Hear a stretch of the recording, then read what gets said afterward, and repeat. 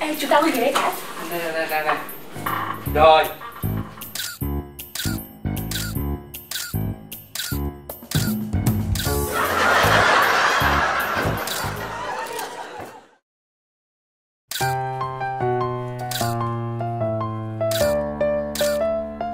Mày chụp xong chưa?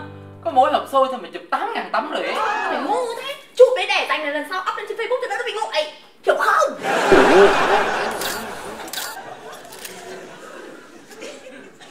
Anh ơi, ơi, chụp vào em cái, cái, cái kính hiệu của em á anh ơi. Dây, dây, dây của em, dây của em. Nó hơi mẹt, hơi mẹt Anh ơi, anh ơi, chụp, chụp em cái túi, chụp em cái túi. Túi, túi, túi hiệu của em. Em nữa, chèn nhau Chụp, chụp, chụp em cái. Này, mày cong cong tay lên cho nó nào Đấy, Nữa, cong nữa, hai tay cong lên. Đấy rồi, ôm chân, chân, chân Chân để me ra bên trái, bên trái. Chu, chu,